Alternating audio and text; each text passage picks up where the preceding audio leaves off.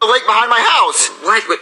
Oh yeah, I remember my dad telling me something about this. Oh, really? Yeah, what did he say? Hey, Pappy, can I go swimming in the lake?